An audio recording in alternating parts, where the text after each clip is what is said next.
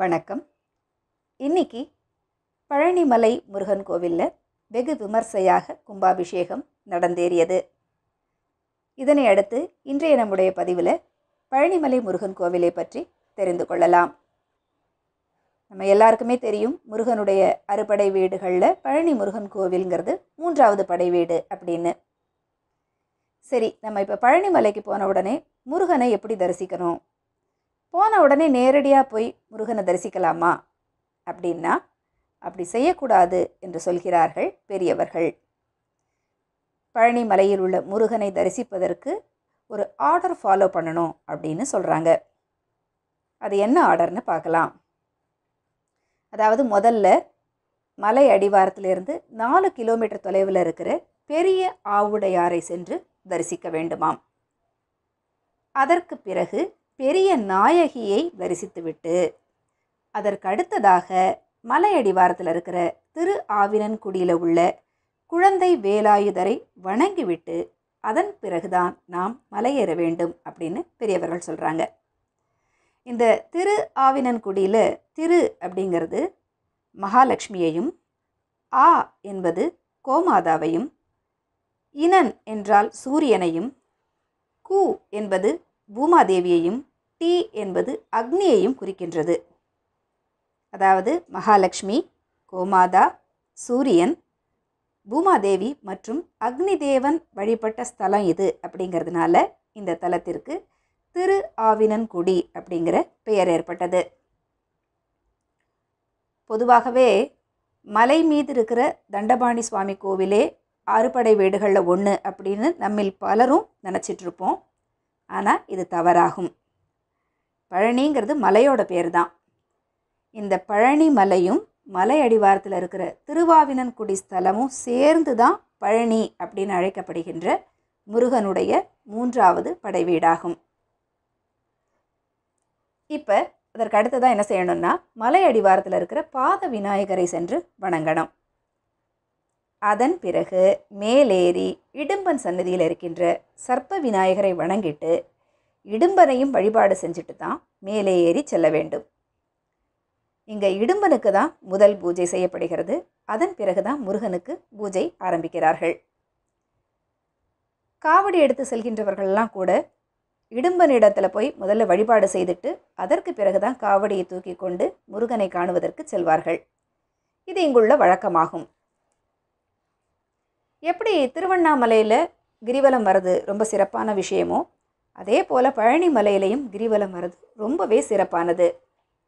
அதுவும் அக்னி நட்சத்திர காலங்களில் இங்கு கிரிவலம் செய்கிறது ரொம்ப ரொம்ப விசேஷம். தவிர எல்லா நாட்கள்லையுமே கோவிலுக்கு வர ஆயிரக்கணக்கான பக்தர்களும் கிரிவலம் சுற்றிட்டு அப்புறம்தான் படியேறுகிறார்கள்.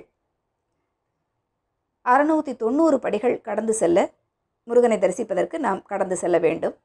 இது தவிர யானை பாதை அப்படிங்கிற படி இல்லாத வழியும் கூட இருக்குது மலையே மருந்தாக அமைந்த மலை பழனிமலை. பழனிமலையில் முருகன் கோவில் கொண்டிருக்கின்ற கருவறையில் பழனி ஆண்டவர் அருகில் ஒரு சிறிய பேழை இருக்கிறது.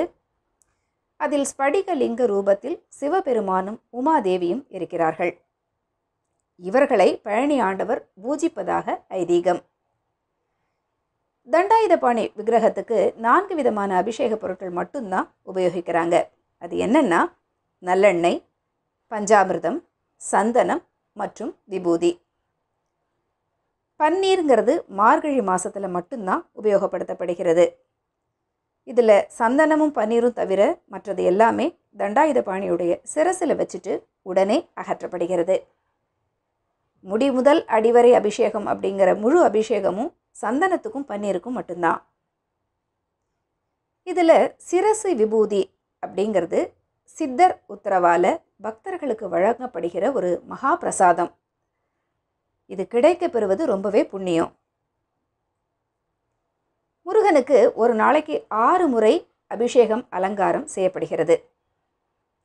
இது அஞ்சுலேருந்து ஏழு நிமிஷத்துக்குள்ளே முடிஞ்சிடும். அபிஷேகம் முடிஞ்சு அலங்காரம் செஞ்சுட்டா அதுக்கப்புறம் அடுத்த அபிஷேகம் வரைக்கும் மாலை சாற்றுவதோ இல்லை பூக்களால் அர்ச்சனை செய்வதோ கிடையாது.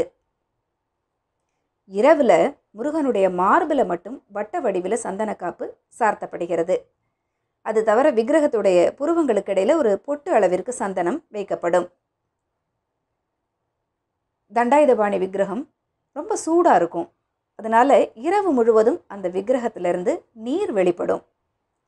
இந்த நீரை அபிஷேக தீர்த்தத்தோடு கலந்து காலையில் அபிஷேகம் நடக்கும்போது அங்கு வருகின்ற பக்தர்களுக்கெல்லாம் பிரசாதமாக விநியோகம் செய்கிறார்கள்.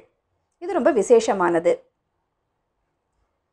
தண்டாயுதபாணி சிலையில் நெற்றியில் இருக்கிற ருத்ராட்சம் கண் மூக்கு வாய் கை விரல்கள் போன்றவையெல்லாம் ரொம்ப அற்புதமாக உளியால் செதுக்கப்பட்டது போல தெளிவாக இருக்குமா?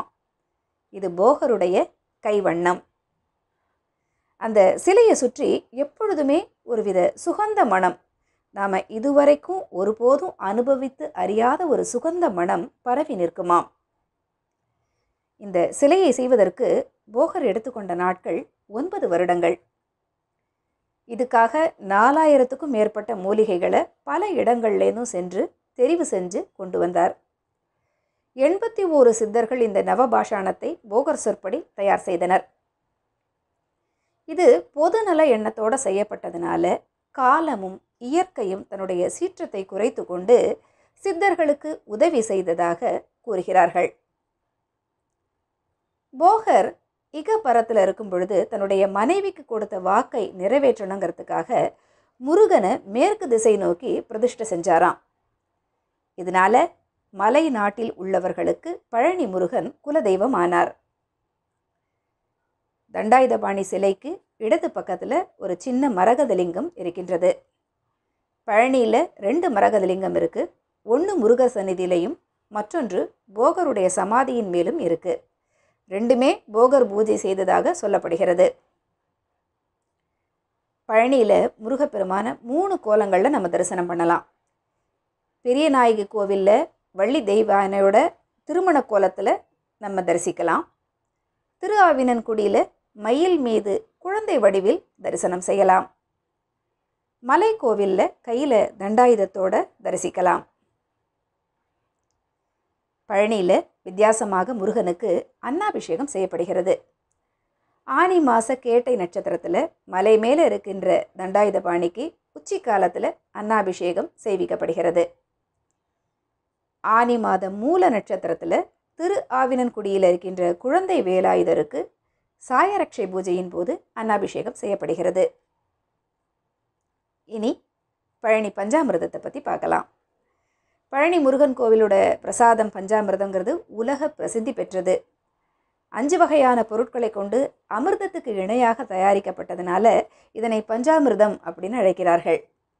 வாழைப்பழம் கற்கண்டு சர்க்கரை நெய் பேரிச்சம்பழம் போன்ற ஐந்து பொருட்களை கொண்டு இந்த பஞ்சாமிர்தம் தயார் செய்யப்படுகிறது. மலை மேலே இருக்கிற முருகனை தரிசிக்க இங்கே ஆயிரத்தி தொள்ளாயிரத்தி அறுபத்தாறில் முதன்முறையாக இழுவை ரயில் அதாவது விஞ்ச் அப்படிங்கிறது கொண்டு வரப்பட்டது. மீண்டும் அடுத்த பதிவில் சந்திக்கலாம். நன்றி.